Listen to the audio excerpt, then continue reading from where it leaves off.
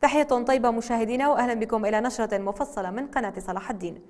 أشرف محافظ صلاح الدين الدكتور المهندس عمار جبر خليل على مستوى الخدمات المقدمة للمواطنين من خلال جولة ميدانية وسط تكريت مؤكدا المباشرة بإكساء الشارع الرئيسي لحي الديوم غرب تكريت بالإضافة إلى تطوير الطريق الرئيسي الرابط بين جامع تكريت الكبير وشارع الأطباء الرئيسي وإكمال إحالة تطوير إحياء شارع الزهور بالكامل من قبل البنك الدولي والتي سيتم المباشرة بها قريباً.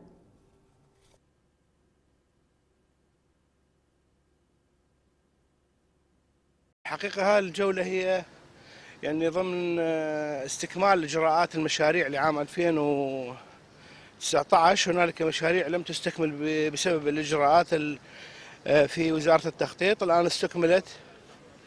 يتم تعيين الآن آه، المسارات في هذه الطرق. سيتم التبليط في منطقة الديوم. إن شاء الله غدا ستباشر الآليات. وأيضا هذا الطريق الرئيسي اللي هو رابط بين جامع تكريت الكبير وبين الشارع الرئيسي شارع الأطباء. أيضا راح يصير لعملية تطوير بالكامل. وهنالك آه، أكملنا إحالة مع البنك الدولي شارع أحياء الزهور لتطويرها بالكامل أيضا من قبل البنك الدولي. لكن تمت الإحالة بالمحافظة والآن استكملنا الإجراءات وإن شاء الله قريبا يعني تم المباشرة بها. لكن إحنا أيضا مشكلة أنه هذه الإجراءات هي صارت مع بداية الشتاء اللي هي عمليات التبليط راح تكون صعبة لأن إحنا نريدها تكون دقيقة فلذلك يجب أن تكون الأجواء آه، مناسبة للتبليط.